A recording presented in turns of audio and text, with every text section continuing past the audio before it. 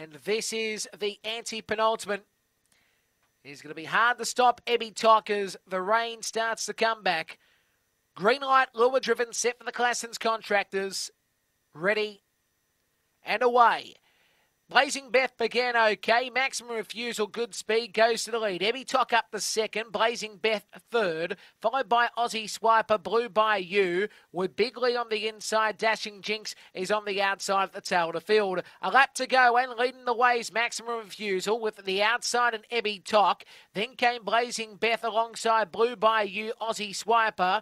Big Lee and back at the tail, Dashing Jinx. Back straight, it's Maximum Refusal leading. Ebby Tock trying to find the run, followed by Blazing Beth, Blue by You, Aussie Swiper, Dashing Jinx, and Big Lee around the turn. It's a Maximum Refusal. Ebby Tock the outside. Ebby Tock trying. Maximum Refusal wins by about three quarters. Maximum Refusal from Ebby Tock, and third was Blue by You, followed by Aussie Swiper, Dashing Jinx, Big Lee and Blazing Beth was before it, and the time will be 44.2. Wins will maximum refusal. Three white first from Ebby Tock and Blue Bayou.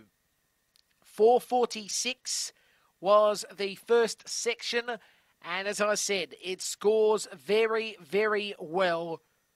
1634 the second, 30 was 3009 third, I should say, third section was 30.09 and 16.55, the run home 16.55. Well, as I said, it was a very, very impressive win by the three whites. It is Maximum Refusal, trained by Dave Peckham, a brindle dog from Fernando Bale, Kilky Flex. Four blue second, Ebby Tock, Tracy Price, Black Girl, Aussie Infrared, Zipping Kelly. Third, eight pink, blue by you, Shilly Grove, blue dog, my bro Fabio out of Destiny Surfer. It was three quarters by, as it goes off the semaphore for the moment, but three quarters was the margin between first and second.